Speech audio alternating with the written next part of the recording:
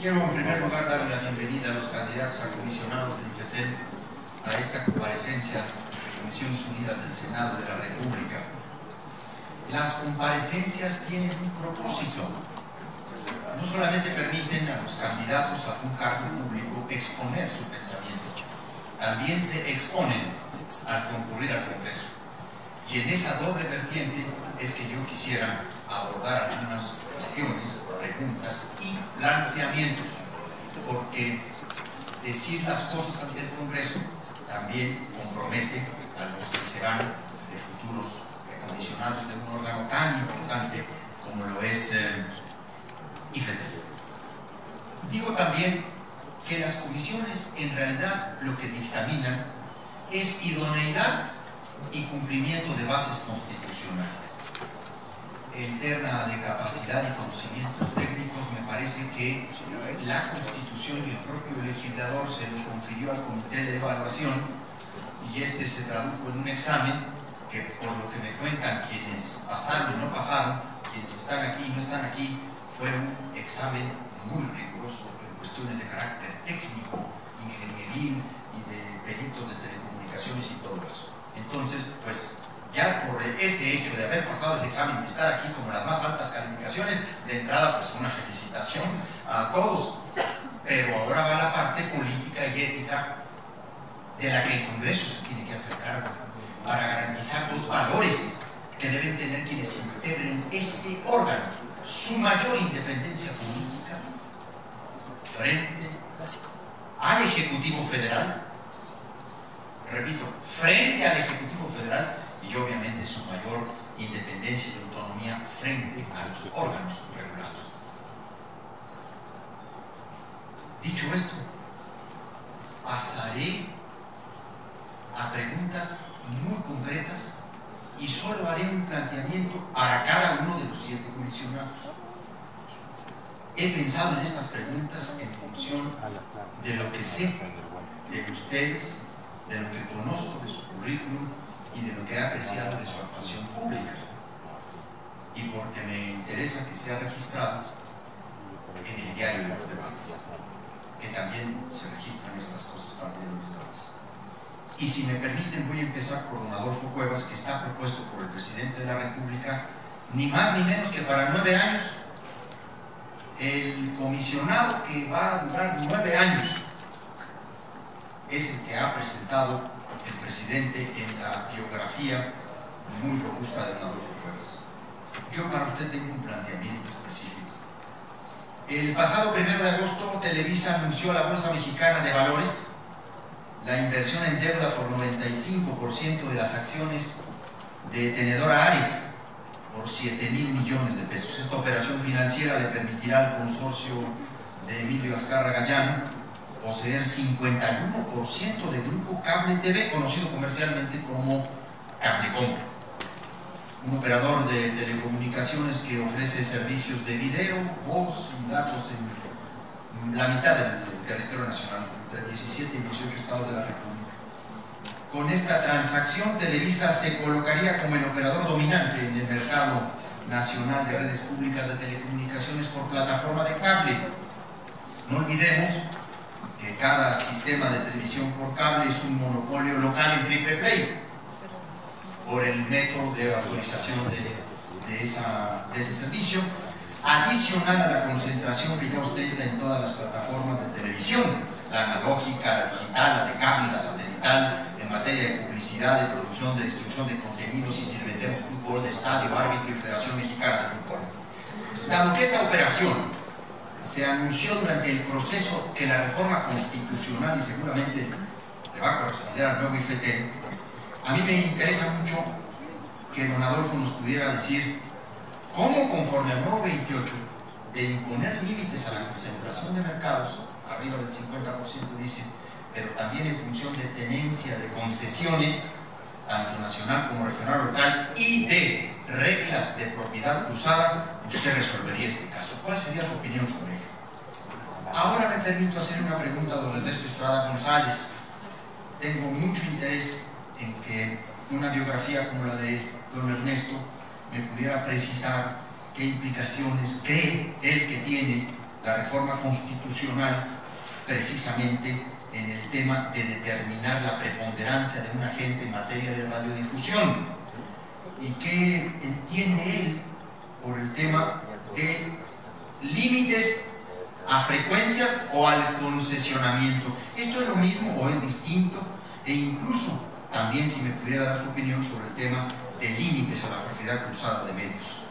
Y a, doña María Elena Estavillo, eh, una vez eh, constituido el IFETEL, este, que será a partir de que se reúnan los siete y tomen ya el mando ahí de del edificio, en el, en el edificio del pantalón, que le llaman, ¿no? una vez que esté constituido el IFETEL, este tiene ya mandatos constitucionales muy claros, más allá de que el Congreso haya no terminado la regulación secundaria.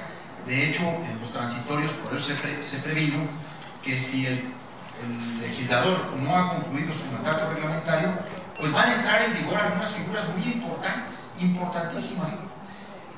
Uno de los temas transitorios que empieza en cuanto se constituye el IFETEL son la prestación de servicios adicionales de telecomunicaciones y la determinación de las contraprestaciones a estos servicios, contraprestaciones correspondientes, la figura del MOS carrier, del MOS offer, eh, que en un plazo no mayor a seis meses eh, deberá estar en la legislación eh, secundaria, pero mientras eso sucede, el instituto se encarga de estas cosas.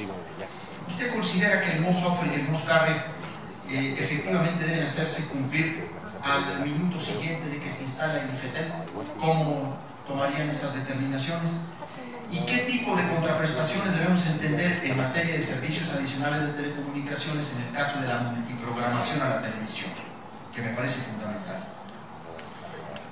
Con Fernando Borjón, eh, con una larga experiencia en el sector, ha sido propuesto solo para tres años.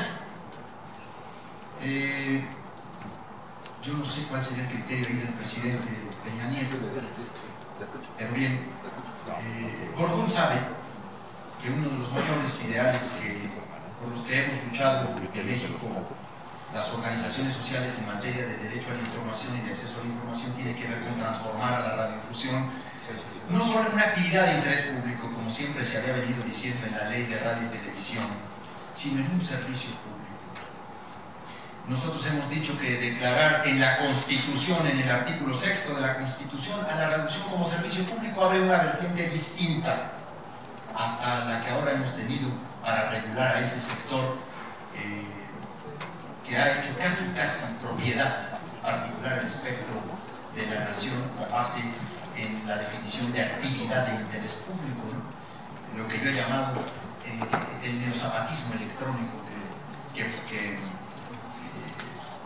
de alguna manera quieren ejercer los concesionarios, es decir, es que el espectro es del quien lo trabaja y por lo tanto dicen que es de ellos. Bueno, eh, ¿cuál es la primera gran vertiente que se abre con relación al servicio público en materia de radiodifusión de lo que hoy no tenemos? ¿Hacia dónde cree usted que el legislador debe eh, orientar su regulación cuando hablamos ahora de un servicio público? En un caso concreto, en materia de revocación en materia de eh, referente de concesión. Y me voy con eh, eh, se me ha ido ahora el nombre de nuestro amigo Fromo, Mario, Mario Fromo. La reforma constitucional asegura la promoción de la producción nacional independiente.